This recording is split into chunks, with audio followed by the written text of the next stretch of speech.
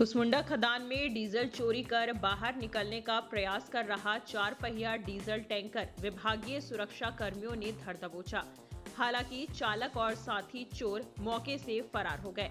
मिली जानकारी के अनुसार कुसमुंडा खदान में बीते शनिवार की रात डीजल चोरी करने घुसे डीजल टैंकर खदान से भारी भरकम मशीनों से डीजल चोरी कर निकलने की फिराक में एक नंबर बैरियर के पास भटक रहा था। इसी दौरान विभागीय सुरक्षा कर्मियों की नज़र उस टैंकर पर पड़ गई।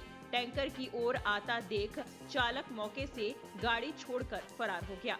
सुरक्षा कर्मियों ने उक्त डीजल भरे टैंकर को कुसमुंडा पुलिस को सौंप दिया।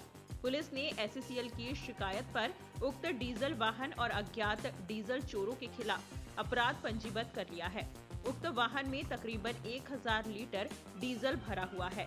पूरे मामले में सबसे बड़ा सवाल यह है कि वाहनों के खदान घुसने वाले पॉइंट पर त्रिपुरा स्टेट राइफल जवानों की तैनाती है। बावजूद इसके, चार पहिया वाहन खदान घुस रहे हैं और बड़ी आसानी से डीजल की चोरी कर रहे हैं। अगर इस